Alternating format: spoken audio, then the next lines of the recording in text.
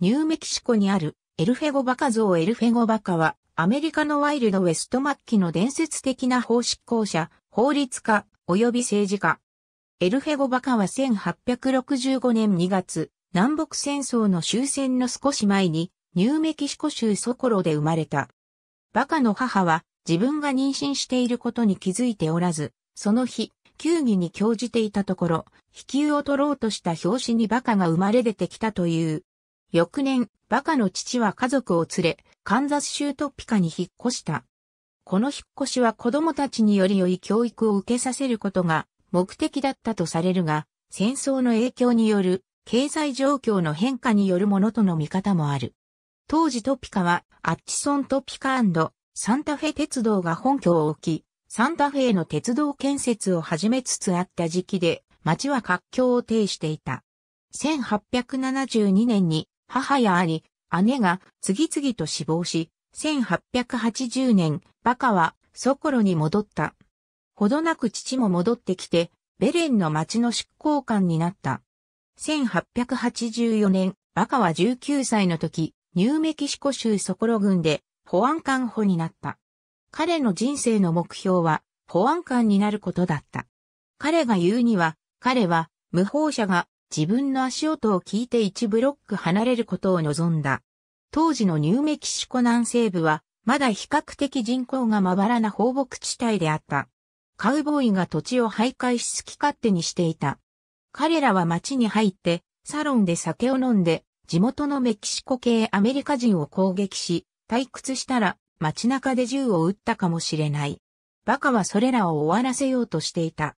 1884年12月1日、アッパーサンフランシスコプラザの街で、エルフェゴバカは実際に彼を撃った大騒ぎしているカウボーイを逮捕した。男の仲間は彼の釈放を要求したが、バカは拒否した。カウボーイからの脅しの後に、バカはジェロニモ・アルミホの家に避難した。カウボーイとの睨み合いは続き、およそ80名のカウボーイたちが家を攻撃するべく集まった。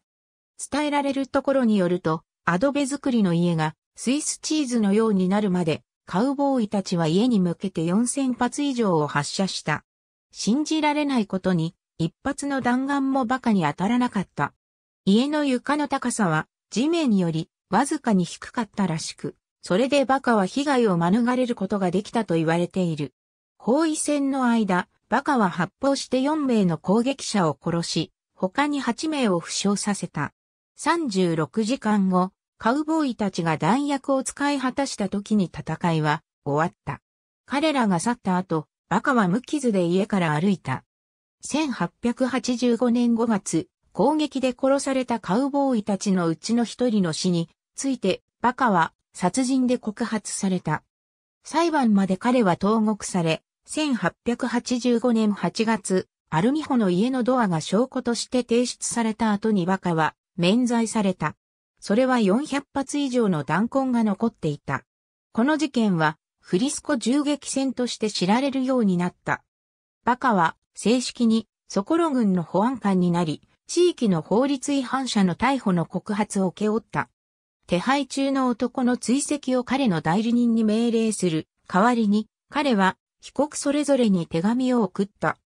その内容は私はあなたの逮捕状を持っている。3月15日までに出頭して自首すること。もししなければ、逮捕に抵抗するものとみなし、あなたを追跡した時に発砲するのは、やむを得ないであろうというものであった。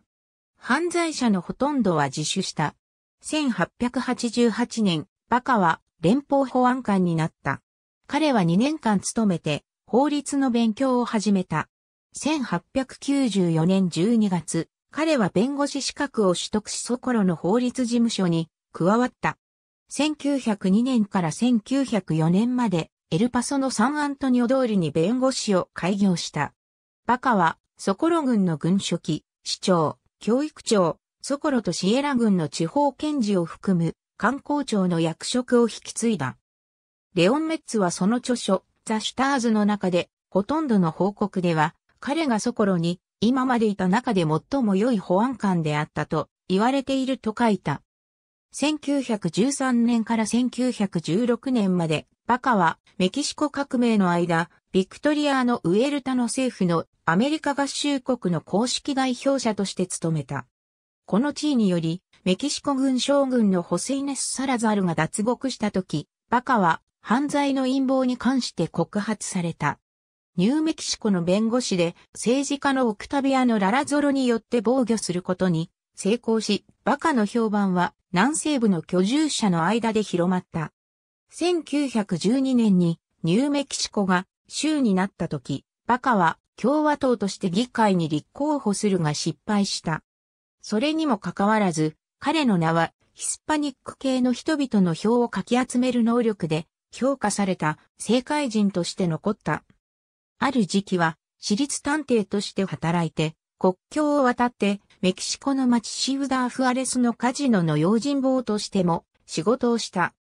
バカは長年の上院議員ブロンソンカッティングの政治的な調査員として密接に働き、地元のヒスパニック系住民のためにカッティングの仕事を称賛する週刊コラムをスペイン語で書いた。バカは健康を害しているにもかかわらず、知事への立候補を考えたが、1944年に地方検事への民主党の指名を得るのに失敗した。バカの伝記を表したメッツは、エルフェゴはかつて、そして今も、議論の的である。彼は飲みすぎて、話しすぎた。彼は、乱れた女性を好んだ。彼は、しばしば横兵で、そしてもちろん、人を殺したことに、何の良心の呵責もなかったと書いた。75歳の誕生日にバカは、弁護士として彼は30人の殺人で告発された被告を防御して刑務所に行ったのはたったの一人であったと、アルバカーキトリビューンが見に語った。1936年7月、彼の死の数年前、ジャネット・スミスはエルフェゴバカにインタビューをした。彼女のノートは議会図書館で見ることができる。バカはスミスに、私は誰も殺したいと思わなかったが、もし誰かが私を殺そうと思ってそうしようとしたなら、私はまず彼を捕らえて仕事とすると言った。1945年、エルフェゴバカは80歳で死亡した。1958年にはディズニーがテレビ番組ウォルト・ディズニー・プレゼンツにおいてバカの生涯をもとにした番組 The Nine Lives of Elfego Baca を放送した。一部の回は後に DVD でも発売された。1960年からはエルフェゴバカゴルフシュートと呼ばれるゴルフ競技がソコロで毎年開催されている。ありがとうございます。